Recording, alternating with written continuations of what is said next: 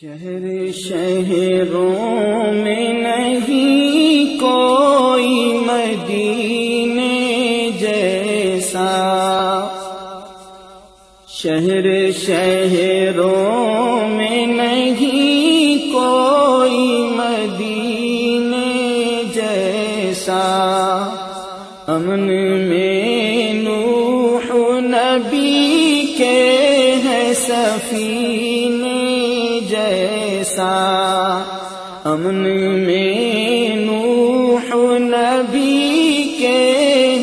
ہے جیسا۔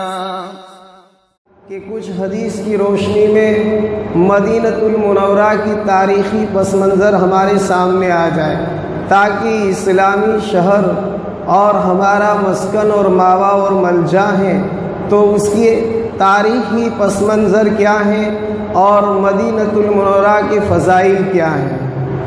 تو فضیلت کے اعتبار سے پہلے یہ سمجھیں کہ دنیا کی زمینوں میں سب سے افضل ترین اللہ رب العالمین نے جس زمین کو اور جس جگہ کو بنایا، وہ اپنے پیارے نبی صلی اللہ علیہ وسلم کا ہمیشہ کے لیے مسکن اور آرام گاہ بنا دیا۔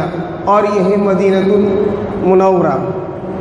نبی کریم صلی اللہ علیہ وسلم نے خود مدینت المنورہ پسند نہیں کیا، بلکہ اللہ رب العالمین نے آپ کو حکم دیا کہ آپ مدینہ طیبہ کا ارادہ فرمائیں مدینت المنورہ کی طرف ہجرت فرمائیں اور مدینہ کو اپنا جائے مسکن بنائیں۔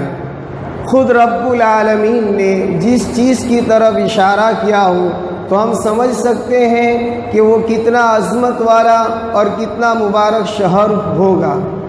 اسی لیے چنانچہ مدینت المنورہ کے متعلق خود نبی کریم صلی اللہ علیہ وسلم ایک حدیث میں فرماتے ہیں، حدیث قدسی ہیں آپ نے فرمایا کہ ان اللہ تعالیٰ سم المدینت تابہ کہ اللہ رب العالمین نے خود مدینت المنورہ کا نام جو ہے وہ تابہ رکھا ہے۔ اور تاریخی پس منظر کے اعتبار سے دکھا جائے تو امام نبوی رحمۃ اللہ علیہ نے بھی مدینت المنورہ کے تقریباً ایک ہزار نام نقل کیے ہیں۔ اور جو فضیلت کی چیز ہوتی ہیں اور جو عظمت کی چیز ہوتی ہیں اس کے نام عموماً زیادہ ہوا کرتے ہیں۔ اب شہر ایک ہیں لیکن نام ان کے ایک روایت کے اعتبار سے ہزار نام ہیں۔ اور خود اللہ رب العالمین نے بھی نام اس کا رکھا ہے، اور خود نبی کریم صلی اللہ علیہ وسلم نے بھی نام رکھا ہے۔ چنانچہ اس حدیث قدسی سے جیسے معلوم ہوا کہ اللہ رب العالمین نے اس کا نام تابہ رکھا ہے۔ روایتوں میں تابہ کا لفظ بھی آتا ہے، طیبہ کا بھی آتا ہے اور طیبہ کا بھی آتا ہے۔ اور نبی کریم صلی اللہ علیہ وسلم نے اس شہر کا نام مدینہ رکھا ہے۔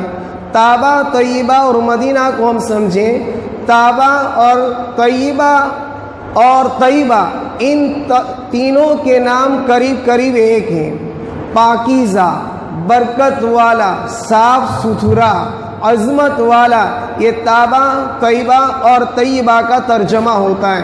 تو مدینت المنورہ ہر اعتبار سے پاک بھی ہے اور ہر اعتبار سے طیب اور صاف ستھرا بھی ہے اور ہر اعتبار سے قابل عظمت اور مبارک والا، مبارک بھی ہے۔ عظمت والا تو جیسے معلوم ہوا کہ اللہ رب العالمین نے خود نبی کریم صلی اللہ علیہ وسلم کو جس طرف ہجرت کا حکم فرمایا اور آپ نے جس کو دار الحجرت بنایا، وہ خود مدینہ ہے۔ اور صرف ہجرت کی جگہ نہیں بنائی، بلکہ اللہ رب العالمین نے قیامت تک کے لیے آپ کا مسکن بنا دیا۔ مدینت المنورہ کی زندگی اسلام کے اعتبار سے آپ کی دس سالہ ہے۔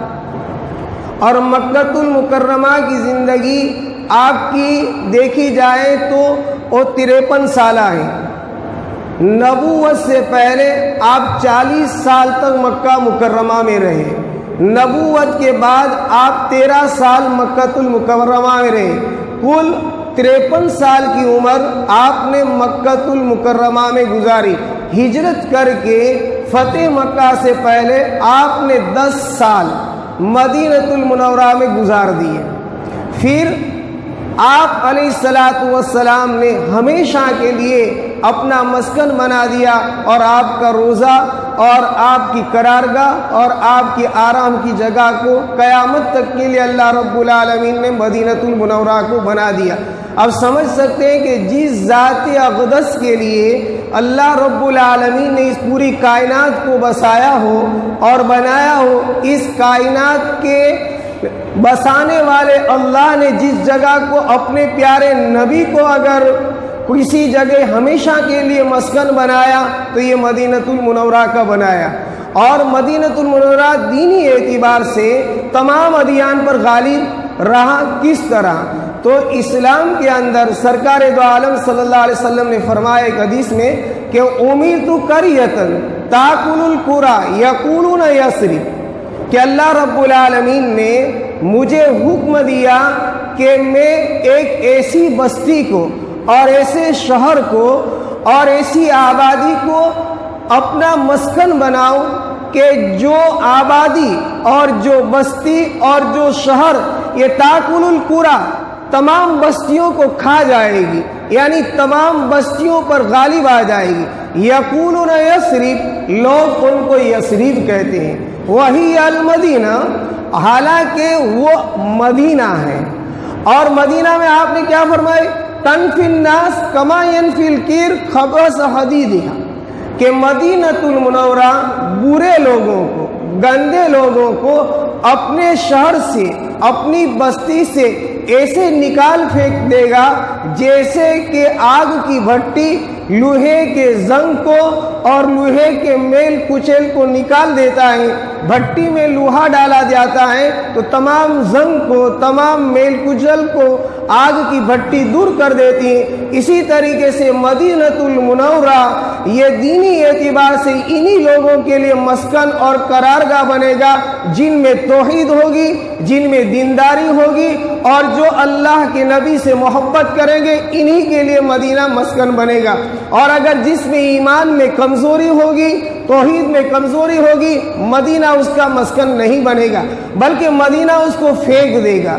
چنانچہ روایت میں آتا ہے، حضرت جابر رضی اللہ تعالیٰ عنہ فرماتے ہیں کہ ایک مرتبہ بستی سے ایک دیہاتی آیا اور آنے کے بعد اللہ کے نبی علیہ السلاۃ والسلام سے عرض کیا کہ یا نبی اللہ، میں مدینہ میں آپ سے بیعت کر کے رہنا چاہتا ہوں۔ میں مدینہ کو اپنا ٹھکانہ بنانا چاہتا ہوں۔ نبی کریم صلی اللہ علیہ وسلم نے انہیں اجازت دی، آپ سے بیعت فرمائی۔ کچھ دن ہوا تو انہیں بخار ہو گیا۔ اور بخار کے اندر وہ تاب نہ لا سکا۔ تو نبی کریم صلی اللہ علیہ وسلم سے عرض کرنے لگا عقیل بایات یا محمد۔ اے محمد، میں نے جو آپ سے مدینہ میں رہنے کی بیعت کی تھی، وہ بیعت میں توڑ دیتا ہوں اور میں واپس اپنے وطن چلا جاتا ہوں۔ نبی کریم صلی اللہ علیہ وسلم نے شفقتاً منع فرمایا اور فرمانے لگے کہ نہیں، آپ مدینہ رہو۔ پھر انہوں نے عرض کیا کہ عقل نہیں بیعت یا محمد، اے محمد، میں رہنا نہیں چاہتا ہوں۔ مجھے مدینہ میں گوارا نہیں ہے، مجھے اپنے وطن چلا جانا ہے۔ آپ نے پھر فرمایا کہ نہیں، آپ مدینہ ٹھہریے۔ تیسری مرتبہ کہا کہ نہیں، اب تو مجھے رہنا ہی نہیں ہے۔ آپ نے فرمایا نہیں، آپ کے لیے مدینہ بہتر رہے آپ مدینہ رہیے۔ آخر میں مجبور ہو گیا اور یہ نبی کریم صلی اللہ علیہ وسلم کی اجازت کے بغیر مدینت المنورہ کو چھوڑ کر چلا گیا۔ جب پیارے آقا صلی اللہ علیہ وسلم کو معلوم ہوا تو آپ نے فرمایا ان نمل مدینہ تو کہ مدینہ یہ آگ کی بھٹی کی طرح ہے۔ ینفی الناس، کہ ان لوگوں کو جن کے اندر ایمان میں قوت اور طاقت نہیں ہے جن کے اندر اسلام سے محبت نہیں ہے جن کو شریعت کے آکام سے دلچسپی نہیں ہے اللہ تعالیٰ مدینہ سے ایسے لوگوں کو یوں ہی نکال دیتا ہے۔ کبھی مرض میں مبتلا کر کے، کبھی پریشانیوں میں مبتلا کر کے، تاکہ مدینت المنورہ ایسے لوگوں کی جائے قرار نہ بنے۔ اسی لیے نبی کریم صلی اللہ علیہ وسلم نے فرمایا کہ مدینت المنورہ کی خصوصیت یہ ہے کہ دیگر مقامات دیگر شہر کو اللہ رب العالمین نے اسلام کے اعتبار سے غلبہ عطا فرمایا وہ الگ طرح سے، لیکن مدینت المنورہ کے اندر دین جو غالب فرمایا وہ اطاعت سے فرما برداری سے، سکون سے مدینت المنورہ کو شہر بنانے کے لیے آپ کو جنگ کرنے کی ضرورت نہیں پڑی۔ مدینہ میں اسلام پھیلانے کے لیے آپ کو کسی سے لڑنے کی ضرورت نہیں پڑی، کسی سے صلح کرنے کی ضرورت نہیں پڑی۔ بلکہ اہل مدینہ مکت المکرمہ میں حج کے لیے آئے، آپ نے دعوت اسلام کو دیا، انہوں نے آپ کو دعوت دی کہ آپ ہمارے شہر میں آ کر دین کا کام کیجیے تو مدینہ وہ ہے کہ دین کے اعتبار سے سب پر غالب آئیں گے۔ اور جو بھی لوگ مدینہ میں بسے ہیں، اللہ رب العالمین نے ان کو غالب کیا ہے۔ اسی لیے اس حدیث میں کہا کہ یقون یسرف کہ لوگ اسلام سے پہلے اس کو یسرف کہتے تھے۔ اور یسرف یہ حضرت نو علیہ السلاۃ والسلام کی اولاد میں سے ایک کا نام ہے۔ اور انہوں نے سب سے پہلے مدینت المنورہ کو آباد کیا۔ زمانہ جاہلیت میں اسلام سے پہلے اور ان کا نام یسرف تھا، اس لیے اس جگہ کا نام، اس شہر کا نام پڑ گیا یسرف پھر اس کے بعد قوم امالکا آئی۔ جب قوم امالکا آئی تو انہوں نے ان لوگوں پر غلبہ حاصل کیا، ان لوگوں سے فتح حاصل کی، تو قوم امالکا بسی۔ اس کے بعد یہود آئے، یہود غالب آئے۔ پھر اس کے بعد نصارہ آئے، نصارہ غالب آئے۔ اس کے بعد پیارے آقا تاجدار مدینہ سرکار دو عالم صلی اللہ علیہ وسلم ماں اپنے صحابہ کے تشریف لائے اور ہمیشہ کے لیے غالب آ گئے۔ اس لیے اب قیامت تک کے لیے مدینہ مدینہ رہے گا۔ وہاں دینی اعتبار سے اطاعت، فرما برداری اور دینی اعتبار سے سکون اور قرارگاہ بنے گی۔ مدینہ کے اندر کبھی دجال داخل نہیں ہوگا۔ مدینہ کے اندر کبھی کوئی مشرق رہ نہیں سکے گا۔ شرک و کفر کرنے والا، خلاف شرع چلنے والا کبھی مدینہ کو اپنا مسکن نہیں بنا سکتا ہے۔ جیسے کہ اس بدبو کے واقعے سے اور دیہاتی کے واقعے سے ہمیں معلوم ہوا۔ اسی لیے آپ نے ایک حدیث پاک میں فرمایا، لا تقوم الساعة حتی تنفی المدینہ تو شیرا رہا کما ينفی الکیر خبص الحدید۔ کہ مدینت المنور قیامت اس وقت تک اللہ رب العالمین قائم نہیں کریں گے جب تلک کہ مدینت المنورہ سے خبیص لوگوں کو نکال نہ دے، شریر لوگوں کو نکال دے۔ جیسے کہ آگ کی بھٹی میل کچل کو برباد کر دیتی ہے، نکال دیتی ہے، ختم کر دیتی ہے۔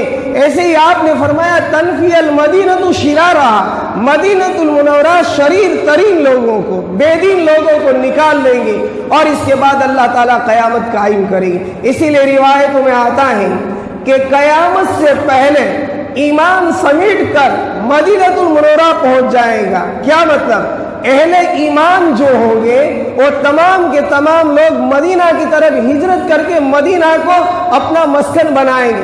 اس میں کچھ کچے لوگ بھی ہوں گے، کچھ شریف قسم کے لوگ بھی ہوں گے۔ تو تمام کے تمام پہنچ تو جائیں گے، لیکن اللہ رب العالمین مدینت المنورہ کی زمین کو تین مرتبہ جھنجھوڑیں گے۔ زلزلے کی شکل قائم ہوگی لوگ گھبرائیں گے۔ اور لوگ گھبرائیں گے تو تین زلزلے کے بعد کچھ لوگ مدینت المنورہ سے نکل جائیں گے اور روایتوں میں آتا ہے کہ تقریباً ستر ہزار یعنی ستر ہزار انسان ہوں گے کہ وہ مدینہ کو چھوڑ کر دوسری بستیوں میں چلے جائیں گے۔ جب یہ چلے جائیں گے تو نیک ہی لوگ رہیں گے۔ برے لوگ نہیں رہیں گے۔ تو مدینت المنورہ سے اگر کوئی رہنے کا ارادہ بھی کرے گا، اللہ تعالیٰ زلزلے کی شکل میں زمین کو ہلائیں گے مدینت المنورہ سے ایسے لوگوں کو خالص کر دیں گے۔ اس لیے مدینت المنورہ کے اندر جب ہم جائیں اور مدینت المنورہ کی طرف رخ کریں، تو روایتوں میں آتا ہے کہ مدینت المنورہ کی عظمت ہمارے دلوں کے اندر ہونی چاہیے۔ بلکہ پیارے آقا صلی اللہ علیہ وسلم نے مدینت المنورہ کی ہر چیز کے لیے دعا کی ہے۔ چنانچہ روایتوں میں آتا ہے غالباً حضرت جابر بن عبداللہ سے روایت ہے۔ حضرت علی سے روایت ہے۔ حضرت علی فرماتے ہیں کہ ایک مرتبہ ہم نبی کریم صلی اللہ علیہ وسلم کے ہمراہ مدینہ سے باہر جا رہے تھے۔ آپ مقام حرہ پر پہنچے، وضو کا پانی منگوایا۔ صحابہ نے آپ کو وضو کا پانی دیا۔ آپ نے وضو فرمایا۔ وضو فرمانے کے بعد آپ نے اللہ اکبر کی تکبیر فرمائی اور اس کے بعد ہاتھ اٹھا کر دعا فرمائے اے اللہ، تو نے اپنے خلیل اور اپنے نبی ابراہیم کے لیے مکت المکرمہ کو برکت والا بنایا۔ تو نے وہاں کی چیزوں میں برکتیں دی۔ لوگوں کے دل اس کی طرف کھینچے جا رہے ہیں۔ اور اے اللہ، میں تیرا بندہ اور تیرا رسول ہوں۔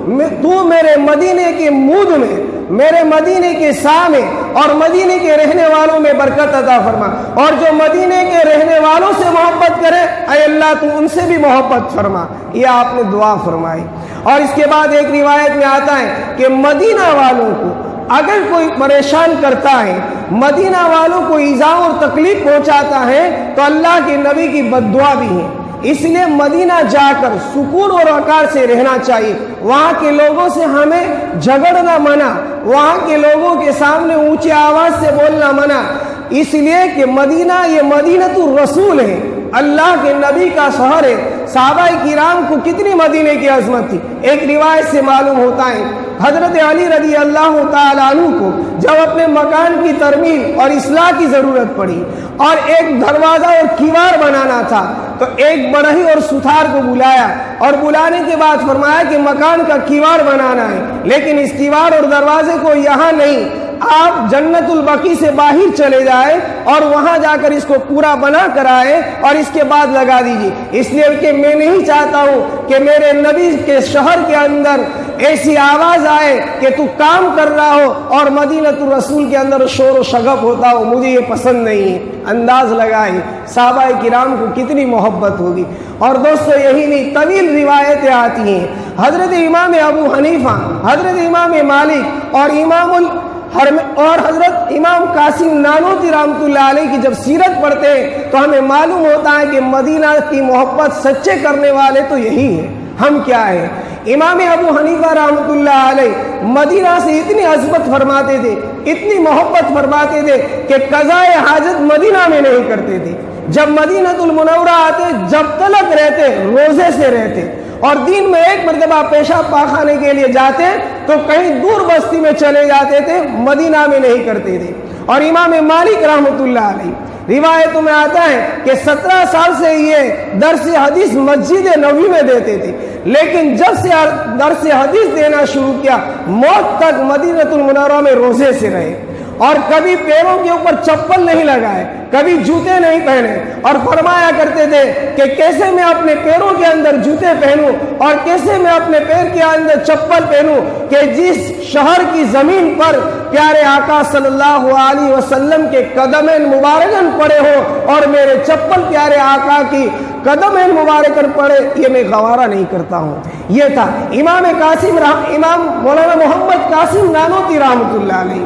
مدینہ المنورہ کو دیکھتے تھے تو تڑپتے تھے اور سواری سے اتر کر دوڑتے ہوئے جاتے تھے۔ یہاں تک کہ وہ سنگلاخ مدینہ المنورہ کی زمین آپ کے پیروں کو خون آلود کر دیتی تھی۔ آپ کو جوش محبت اور فرت محبت میں انداز بھی نہیں ہوتا اور پیروں کے اوپر آپ چپل کبھی نہیں لگاتے۔ یہ کیوں اس لیے کہ پیارے آقا صلی اللہ علیہ وسلم کا مسکن ہے؟ یہ کیوں اس لیے کہ پیارے آقا صلی اللہ علیہ وسلم کا مدفن ہے؟ اور جس نبی سے جس کو محبت ہوتی ہے، تو نبی کی ہر چیز سے محبت ہوتی ہے۔ نبی کے شہر سے ہمیں محبت ہو، یہ ایمان کی علامت ہے۔